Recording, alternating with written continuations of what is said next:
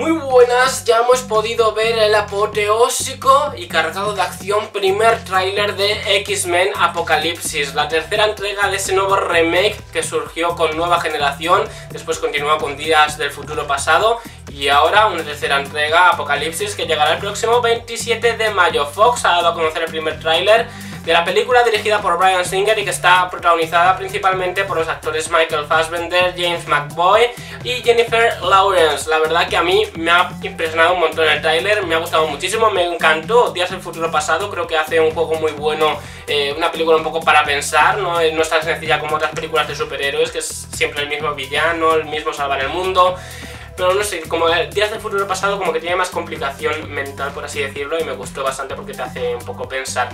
Veremos si esta película también tiene esos recovejos en los que te hace pensar, o al menos se ve un poco como de conspiración mundial, ¿no? Es el argumento, bueno, eh, os voy a dejar el argumento aquí abajo en la caja de descripción para que lo leáis y el tráiler si lo queréis ver, y si no queréis ver ningún spoiler, porque yo que sé, los trailers también muestran bastante spoiler. Si no queréis verlo, pues no veáis el tráiler, cariño. Si el 26 de mayo nos vamos todos al cine a ver los X-Men, que a mí sinceramente, siempre lo he dicho, es uno de los pocos, eh, una banda de superhéroes que me gusta, junto a Batman y los X-Men, son los únicos que me gustan. El resto, de verdad, quedaroslos todos, porque es que yo triunfan un montón, pero yo no sé por qué, de verdad.